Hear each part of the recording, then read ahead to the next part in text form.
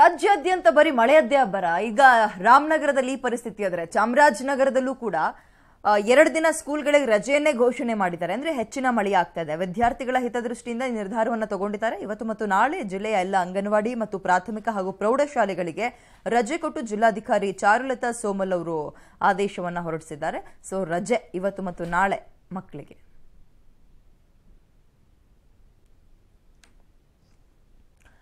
ಮಂಡ್ಯದಲ್ಲೂ ಸ್ಕೂಲ್ಗಳಿಗೆ ರಜೆಯನ್ನ ಘೋಷಣೆ ಮಾಡಿ ಅಲ್ಲಿನ ಡಿಸಿ ಇದೀಗ ಆದೇಶವನ್ನು ಹೊರಡಿಸಿದ್ದಾರೆ. ಅಲ್ಲಿನ ಡಿಸಿ ಅಶ್ವತಿ ಆದೇಶವನ್ನು ಹೊರಡಿಸಿದ್ದಾರೆ.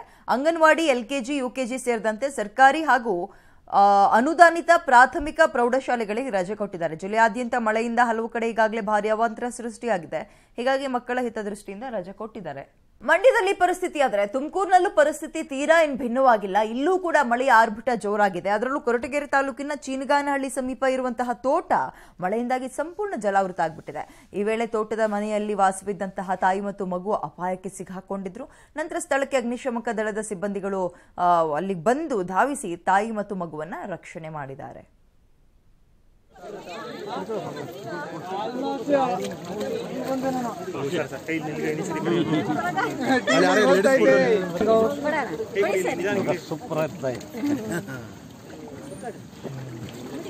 ಬರ್ರಿ ಬರ್ರಿ